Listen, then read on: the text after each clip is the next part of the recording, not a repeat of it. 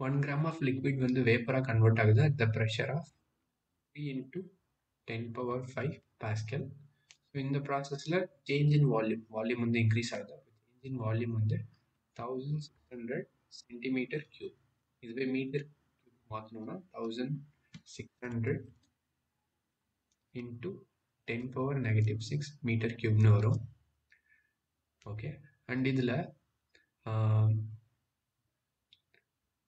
Total heat எனர்ஜியில் ten percentage of heat energy தான் work டன்னுக்கு use பண்ணியிருக்கோம் ஸோ அப்போ நம்ம என்ன எழுதலாம்? Ten percentage of Q equal to work done எழுதலாம். இல்லை zero point one Q equal to work done எழுதலாம். அண்ட் நம்ம சேஞ்ச் இன் இன்டர்னல் எனர்ஜி கண்டுபிடிக்கணும். ஸோ இந்த ப்ராசஸில் change in internal energy U என்னங்கிறத கண்டுபிடிக்கணும். ஓகே ஃபஸ்ட்டு இந்த டோட்டல் ஹீட் எனர்ஜி எவ்வளோங்கிறத பார்ப்போம்.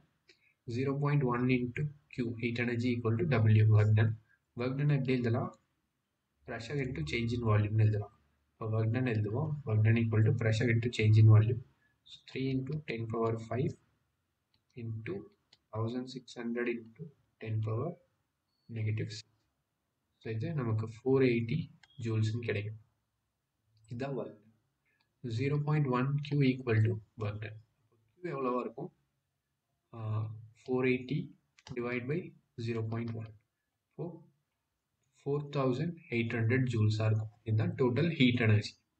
So first law of thermodynamics use பண்ணோம்னா total heat energy will be equal to work done plus change in internal energy. Okay. So total heat energy 1800 work done இது 480 and change in internal energy இப்போ calculate பண்ணலாம் 1800 minus 480